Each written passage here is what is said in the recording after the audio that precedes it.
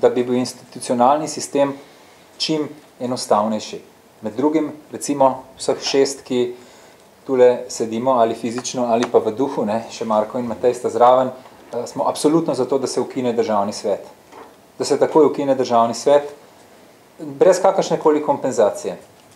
Ne, eni pravijo, na mesto državnega sveta bomo imeli pa dom uh, regij, na mesto državnega sveta bomo pa povečali državni zbor. Ne, ukiniti državni svet, pika, nobene, nobene nadomestne rešitve za to ne potrebujemo. Četrta stvar, s katero se vsi strinjamo, je, da je eden od ključnih dejavnikov našega uspeha kot države v bodočnosti učinkovit javni sektor.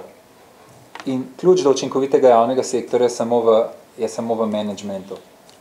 Torej, vlada mora javni sektor obvladati. Vlada je za delovanje javnega sektorja odgovorna. Mi smo proti temu, da se v javnem sektorju govori o neki silni samostojnosti in neodvisnosti raznih podsistemov, ker potem nihče več za nič ni kriv in nihče več za nič ni odgovoren.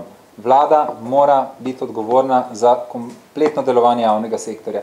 Če hočete tudi za podržitve elektrike, dokler je to stvar javne, javne, javnega sektorja oziroma javnih podjetij, je v končni fazi odgovorna vlada.